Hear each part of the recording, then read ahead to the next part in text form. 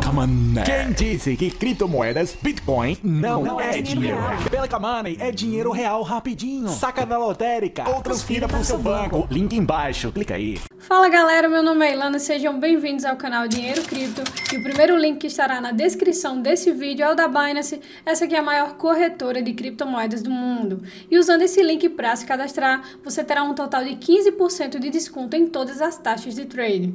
Vamos ao vídeo.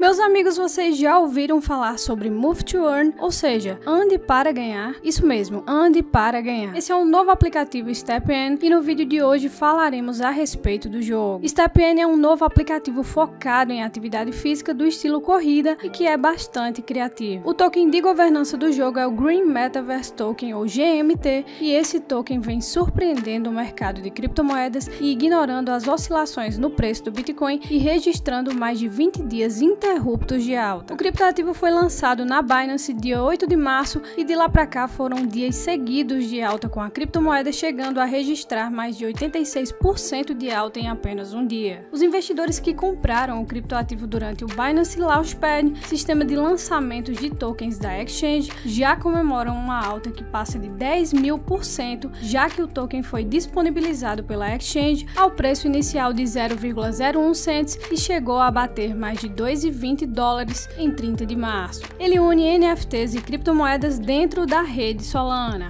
E bom pessoal, dando uma conferida aqui no site, vemos que o aplicativo está disponível tanto para Android e iOS, e descendo aqui a gente encontra algumas informações sobre o projeto como a compensação de carbono, a quilometragem que as pessoas já percorreram nesse aplicativo e a sua comunidade, membros do Discord e seguidores do Twitter.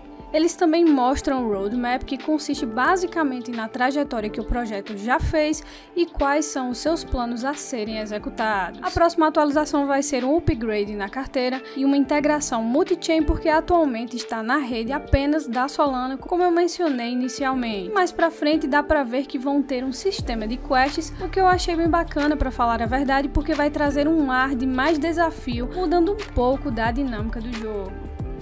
Aqui, onde esse aplicativo já foi mencionado, aqui os seus desenvolvedores, alguns conselheiros do projeto e aqui alguns apoiadores do projeto e veja Solana aqui.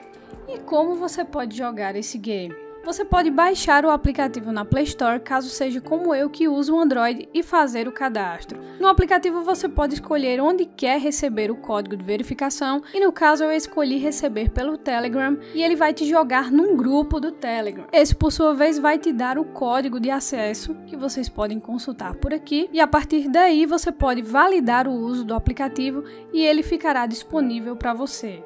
Esse cadastro, pessoal, abre e fecha constantemente e eu acredito que seja pela grande busca. Então, voltando ao jogo, você pode escolher esses quatro tipos de NFTs. Um é mais indicado para caminhada, veja que ele faz de 1 a 6 km por hora. Esse outro para passos mais rápidos, veja que ele vai de 4 km a 10 km por hora. Esse seria para corredores e esse aqui seria um geral, pois veja que ele vai de 1 a 20 km por hora. Cada NFT está sendo negociado em média pelo menos até a gravação desse vídeo por cerca de 9 sol. E vale lembrar, pessoal, que muita gente está entrando nesse jogo que tem tudo para bombar, inclusive a Binance está suspendendo saques de Solana devido à grande quantidade de pessoas fazendo isso. Aqui também está disponível o Light Paper, caso você queira dar uma conferida sobre o que é o Step sobre como eles ganham dinheiro. E aqui, de acordo com o Tokenomic, no aplicativo você pode comprar o NFT e participar do jogo, ou alugar um NFT e dividir com o dono 30% dos ganhos, e você que fez a atividade sai levando 70%. E bom pessoal, comenta pra gente o que vocês acharam desse novo estilo de game que se utiliza de atividade física, que além de te pagar de certa forma, te dá um estímulo para fazer a prática dessas atividades como corrida. Ficamos por aqui e até mais.